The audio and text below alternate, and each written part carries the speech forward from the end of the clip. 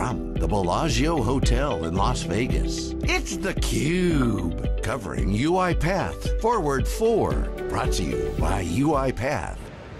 Welcome back to Las Vegas Live, theCUBE. Yes, it's live in Las Vegas at the Bellagio. Lisa Martin with Dave Vellante. We are covering UiPath Forward 4.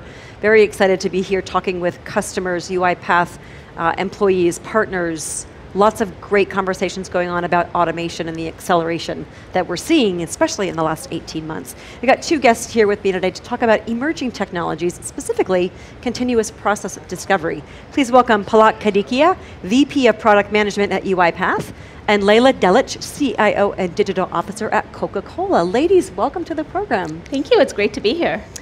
So let's talk about, Palak, let's start with you. Continuous process discovery, define that for us. What does that mean? So process discovery has been um, a concept that's been around for a while, right? It's enterprises have a bunch of processes that are deployed and people are following them. Um, the concept of discovery has existed. What we're trying to do with continuous process discovery is enable you to identify the processes, figure out how to optimize them, and then automate them. Once they're automated, we want to monitor them and then keep doing that cycle over and over again using technology rather than having fill in, having people fill in paperwork and then having those processes go out of, um, out of um, status like right away because they're just becoming stale. With continuous process discovery, they don't become stale. You're getting that real-time feedback loop and you're getting the processes to work end to end continuously. So I wonder if I could follow up on that, because I remember when you guys made the acquisition of Process Gold, and, and so as somebody who's inv heavily involved in product management, how did you go about, I mean, it's been, sounds like it's seamless, but it never is, right? But how did you go about integrating and making it appear as though it's just kind of part of the platform? The, I mean, there's a lot goes into that, right? Process Gold was a great technology to begin with. So it wasn't a huge stretch for us to take it and integrate it and make it part of the platform. Um, typically when we acquire companies, we look for product market fit, we look for technology fit, we look for people fit. And we had that with Process Gold. The other thing to add there is, uh, process discovery, um, specifically with Process Gold, and automation go hand in hand. You can't, having one without the other is kind of leaving half of your solution on the table and just focusing on understanding and not focusing on implementation. And so it was very easy to take that technology and make it part of the hyperautomation platform. So Leyla, the reason why I asked that question is because it sort of coincides with a customer's journey, where you go from sort of a individual department and then now you're saying, I always say pave the cow path, you know, kind of take a process that I know, I'll just implement that, even if it might not be the best process, I'm going to yeah. repeat. And it takes you to a new realm. And so this is, to me, this is all about how incumbent companies, 100 plus year old companies, can actually be digital disruptors as opposed to being disrupted themselves, right? A lot of smart people Absolutely. running these big companies. So, Absolutely. so uh, last time we talked, you were relatively new, inside yep, of a year. Yeah. So how's the journey going and, and how does it tie into some of the advancements that UiPath has made? Yeah, absolutely. So the journey is going great. Uh, I like the word you used, accelerate. So I'm here to accelerate and transform. Uh, and why we have to do it is so that we don't become obsolete and we continue to be relevant for our customers, for our employees, very important, and for our community. So we are doing a lot of running a lot of initiatives. Uh, when we look at being relevant for the customer, that means we have to transform the way we operate and our business models. We have to generate new revenue streams now that are enabled and based on data and technology. While you do that, you have to create efficiency internally. You cannot create great experiences with customers and you work with very monolithic and very old school traditional processes or ways of working and systems. So you have to make sure that you adapt and change and transform the way you work internally to meet the customer's needs and demand and generate these new business models. So our starting position was automation. We have to automate at an extreme speed but we also wanted to go really far with automation, not just fast and hit with task automation and just automate, you know, these traditional 50, 60 year old processes. But how do we identify what else is there? There's a well of opportunity when you look at an end to end process. So that's where process mining, as Palak described, comes into play. And actually, we started affiliating with process mining during Process Gold. So your question around how the integration went, we, uh, we actually went through that. Uh, I think the UiPath's one key value that they have and they should never use is listening to the customer. So we got together with UiPath and we said there's more to what we can do with automation and we implemented process mining for one end-to-end process, amazing results. Just one country, one end-to-end process, amazing results. But it's because of the partnership. We know what we need to achieve, what we have to do, and they know how to help us to get the technology up and running or adapt the technology and improve the technology. So that's where we are, achieving outcomes. We are generating new business model, new revenue stream, automating internally, reskilling and upskilling our people, which is extremely important. That comes along with automation. That so redesign very of- excited. Sorry, Leyla. That redesign of work is very important, and the CIO's role is very important in that as well. I wanted to talk though about something that you just said with respect to the listening piece that Yes. UiPath is so good at. This Yes. morning in the keynote, Mary said to you know all the which was standing room only, which was amazing to see um, Yeah. in this i- i- day and age. But that they wanted to hear from customers. What are we doing right? What are we not doing that you want to see more of? What do you want to see less of? Yeah. Talk to me about the direction and advice that you, as the CIO of Coca-Cola, is Right. able to provide to Palak and the team about where UiPath is going. Right. It's really on a very fast cadence. Absolutely. So, uh, as Coca-Cola HJ, we started the journey with UiPath three years ago exactly. I was on the job, and the second big technology decision I made was UiPath. And since then, it was very consistent listening. But during our CAB meeting, Daniel said something. He said, um, I'm not welcoming the request. He said, We welcome. He said, No, no, sorry, I am not welcoming. I'm requesting you to give us insight. And I think that's very critical. That's what we want to hear. Um, at the end of the day, we are technologists, we are thought leaders, but we are better thought leaders with our technology partners. We want technology partners to show us the way sometimes.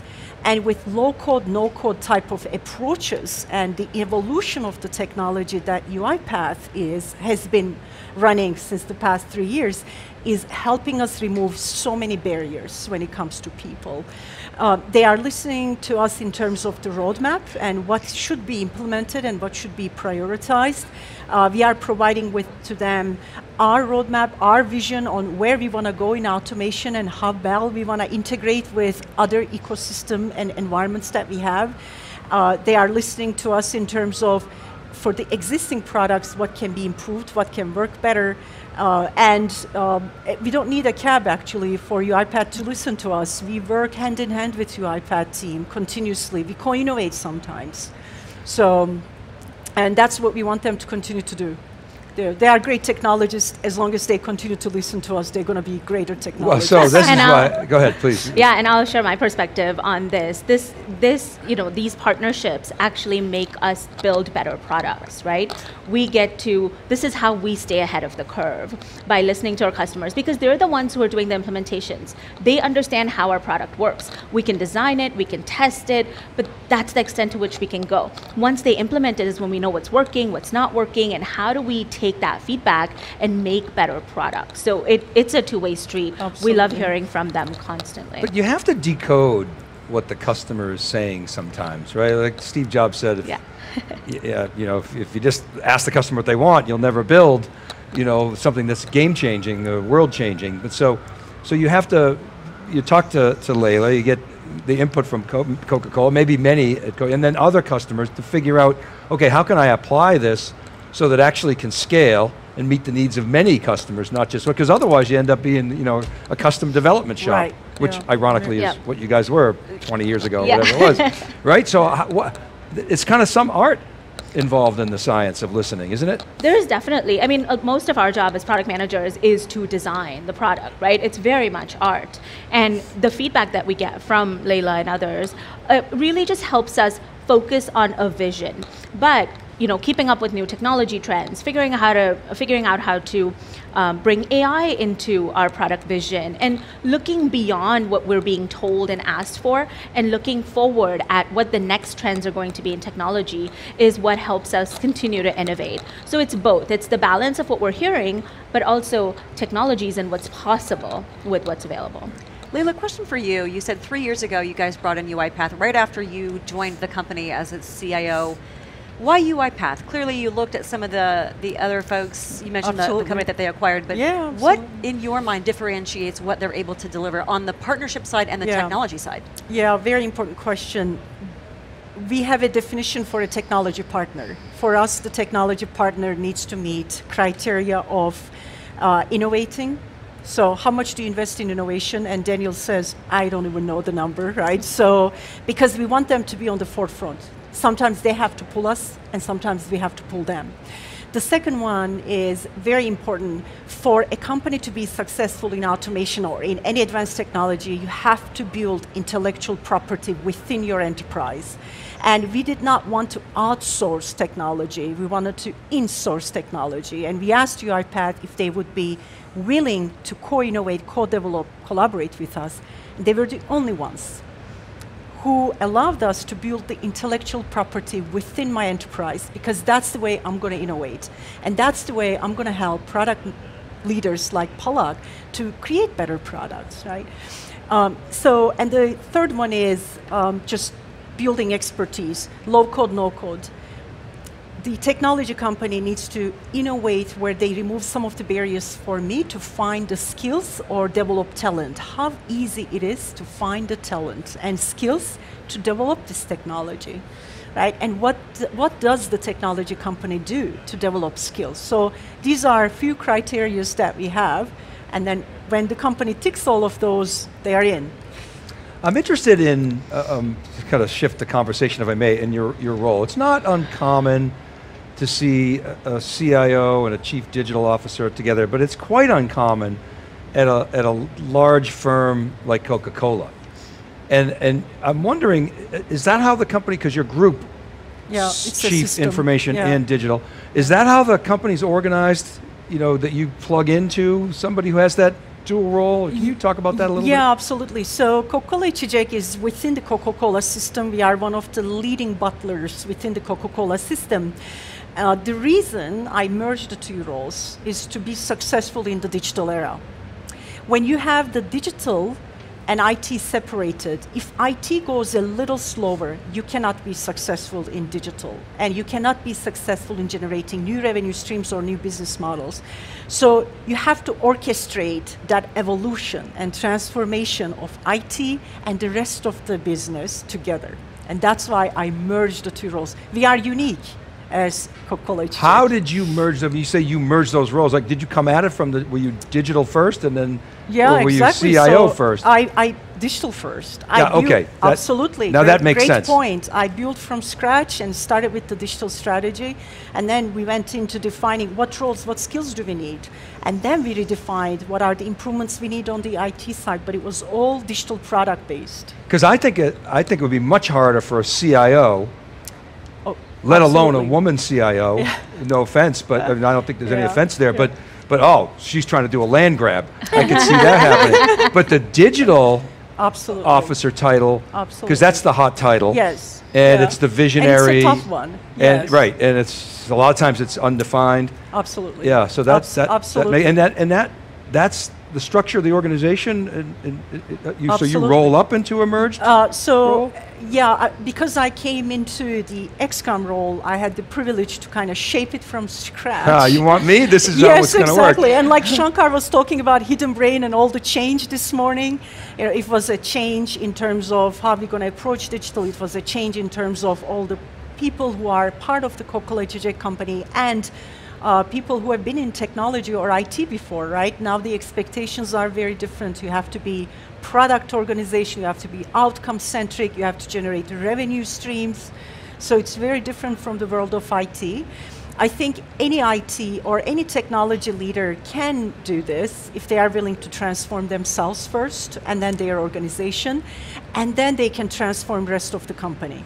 As the chief digital officer, data is a big part Oh, of your role. huge. You're not the chief data officer. It's part of the organization. that's it's part that's, of my organization. That's part of your. Yes. Okay, so the CDO reports into Yes, you. Okay, and that individual, I'm sure, is responsible for governance and compliance and Absolutely, all data management, data governance, the foundation, and all the database solutions that See, I think you got it right. I think this idea of creating stovepipes, it just it's it's Yeah. it's not as productive, and it's harder to make decisions that are aligned with the organization's right. goal. And we're going to be bolder. So we're going to disrupt further. Uh, our goal now is to create platforms and then democratize the platforms so our operating partners can learn the new skills and they can develop their own use cases on the platforms. Uh, and that way we'll go much further and much faster in terms of the generation of new revenue streams, changing operating models. Data and technology, I call it the new operating system of any business, and everybody must learn these skills. Well, and that's what I want to ask you about because if you think about a, a, a, company, an incumbent like Coca-Cola, your processes over the years have, if, in your data, maybe they were organized around the bottlers Yep, or yep, the, the, exactly. the, the distribution channel, et Yes. cetera, and that might not be the best process. So you have to take a look at that and then Absolutely. use process mining to say, actually, what is the best process? Absolutely. Reinvent yourselves. Absolutely. We are re-engi- re-engineering and reinventing in a lot of places. Process mining helped us in short order to cash cycle. Every, every company has order to cash process. We took an order to cash process, which we recently standardized, by the way. We thought we did. And then we, process mining told us that very few times you go through the happy path. Most of the times you go out of the happy path. Um, so gave us uh, a lot of tangible outcomes where we improved the cycle time. And it's an interesting process because you touch the customer. It impacts your delivery and your commitments to the customer, and it makes life easier for the employees when you improve the process. Uh, this is only one piece. Uh, we are also transforming the way we are interacting with our customers using digital means and digital channel. But one thing is very valuable with us. While we do all of this, staying hybrid is very important. Like with everything else we do, that human touch and personal relationship with our customers and consumers is invaluable. So we're going to keep that. Doesn't matter how digital we go or how much technology we implement, we're going to keep the customer and consumer connect, the most valuable asset that we have. Mm. Absolutely, And- it is. Oh, go ahead. I was going to say this is the one thing that, that we think about when we're designing our products, right? It's how can process mi- mining help you optimize your f- workflows such that you can spend more time with the customer, such that you can spend more time and get back to them faster. That's critical. They, I always say the employee experience is inextricably linked to the customer experience. And so what you just talked about, you, you talked about so much stuff that I would love to unpack. We probably don't have time, but coming in as with a transformation mindset, Yes. one, being, you mentioned, you know, leaders need to be willing to embrace that. Obviously you were, but as a CIO working with UiPath, you're really helping to redefine work and also that customer experience to an extent. How does UiPath help facilitate that? Um, so, because they are listening and they are willing to partner with, and I think the most importantly, they want to be part of our outcomes. They care about our outcomes. And uh, going back to your question, how do we select a technology partner? That was one of the critical items. Outcomes are very critical. If there's no outcome, there's no point in it. We are not doing technology for the sake of doing it. We are, yes, we are all excited with what technology can bring, and removing barriers is very important, which is a huge, another huge topic. But if we don't generate an outcome, it's meaningless. And UiPath is willing to understand the outcome we are generating. So it's less of a commercial discussion, more of a technology and outcome conversation. Uh, so whether it's a customer outcome or an employee outcome or a cash outcome, financial outcome, I think that's why we have been successful and we have been on the journey with UiPath. Process mining, I think we are one of the very few clients, right, customers of UiPath who are using it. Uh, and because we are very progressive organization, uh, UiPath is listening to our feedback and implementing. Back to your que- earlier question, you have so many customers. Who do you listen? Right. So when you are progressive and when re- you really know what you are doing, you are also pulling the UiPath, a big technology company, into a direction that is more meaningful. So they listen to us in terms of what to improve with process mining, and that's why we were able to achieve the outcomes. And now they are listening to us further on further improvements on process mining so that we can capitalize on further outcomes and benefits of process mining. So order to cash is common use case. So what, what, were there any diamonds in the rough, or do you suspect there are? With, that oh, you we found with already process mining? realized. Yeah. Maybe Uh, some examples. Yes, we realized multiple tangible outcomes. Uh, we discussed this with Palak earlier today.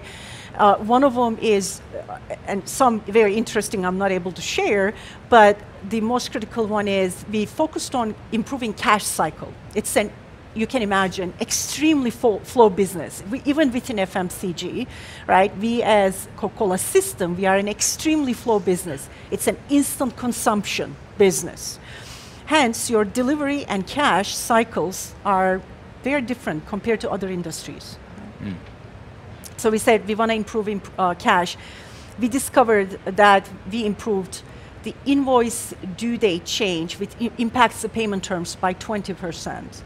We improved credit limit um, approvals by 5% by removing unnecessary approval steps. We realized there were unnecessary approvals these two are directly impacting our customers as well because it's waiting in somebody's queue to handle those approvals and the customer is not getting the deli- delivery because it's payment. Payment and delivery go hand in hand. And the third one is uh, and i'm not able to articulate the exact outcome but it's a very critical day average day gain on getting cash. So it's a cash gain. The next big outcome is the cycle time improvements. So we significantly improved the cycle time of the process, and this means efficiency for our employees. They, we are making life easier for them. The, the last one is, again, a tangible one 30,000 hours back in terms of productivity. One process, one country, 30,000 hours. A year? That translates into, exactly, that translates into benefit for the customer, right? You increase customer satisfaction, you increase employee satisfaction because you remove all the non-valued work. So going back to uh, Palak's point around continuous discovery, that's why we love it. It's like good old Lean Six Sigma. Lean Six Sigma is exactly that. You continuously, you want to continuously improve the process. You don't do it once. With process mining, we don't want to do it once. We want to do it continuously, but this time with automation. B- before we go, I, I'm the lone male on the panel, so I have to ask. So, so uh, CIO, C, uh, Chief Digital role, very uncommon, let alone un- uncommon for a woman. Big time product management person. Okay, that's cool. Check. You, right, you've been in the industry for a while. Now a celebrity on the on the cube and elsewhere. so has the pandemic? How has the pandemic affected the whole women in tech trend? Has it slowed it down? Has it accelerated? We were talking earlier about the working moms feeling like way stressed out more than the working dads, double 30% versus 15%. Has the pandemic, in your minds, altered in Yes. any way the, the women in tech meme? Absolutely. How so? Positive, negative? Um, so, we are trying to turn the negative into a positive. It is negative, absolutely. Um, I think it impacted everybody, all, all women in all industries and in all areas of operation and workforce. Uh, women in technology is already a very slim, right? It's a very tiny layer within any company and out there in the society. Um, and unfortunately, the challenges that came with COVID you know, impacted, and some of them had to, you know, leave, and they couldn't stick around. right. Right. So we are trying to turn that into positive. Uh, as a digital function, we have a big uh, give back initiative. It's a priority of the digital team. I'll be talking about that very uh, in in an, in an hour. Technology removes barriers. Uh, so we have to turn this into a positive. Yes, COVID has impacted everybody um, personally and directly or indirectly. But now with technology, we can remove barriers. We have now flexible working and hybrid working models being ramped up across all geographies and all industries and all companies. technology removes barriers. We can teach technology to a lot of people and our communities, and they can join because we have huge skill gaps in technology. That what's sad is we have huge scarcity of skills in technology, and we have very few people, but we are talking about women dropping out or any type of minority dropping out, right? So we can leverage and improve and turn it around. I hope we will accomplish to do that. We started doing that in our company and in Turkey, and we are trying to expand that across multiple uh, other countries with NGO partnerships, helping women to gain certain skills so that they can join the economy again from wherever they are. Mm, thank you for that. And, and from my point of view, I think there are two aspects to it. As Leyla said, it has affected women a little bit more. But I've also seen in some cases it has leveled the playing field a little bit because mm. there's, you know, everybody's on Zoom the um, kids show up on Zoom cameras for men just as much as they do for women. So it helps shine a light on things that we would normally go through that nobody would know about. And I thought that was a really cool outcome to some degree of this. You know, my manager Param has little kids and they'd be in his background all the time, just as my little kids would be in my background. And I'm like, oh wow, so you know how it feels to, to you know, be the caregiver at home. And I, th- I thought that was a, a, positive outcome of the whole being a, a, female in mm. technology. I like that. That's something that uh, I haven't thought about it in terms of leveling the playing field like that. There's in this situation there are both positives and negatives. I like how you're seeing the playing field level a bit more, and how you're at Coca-Cola looking to how can we turn this negative into a positive. A lot of opportunities there. We uncovered a lot in the last I'm going to guess 20 minutes, talking about continuous process discovery all the way to women in technology, how you're each doing that and what your perspectives are. I wish we had more time. We could keep going. But ladies, thank you for joining David Mead. Thank you very thank much. You. It's been a pleasure. For Dave Vellante, I'm Lisa Martin, live in Las Vegas at the Bellagio, UiPath Forward 4. We'll be right back.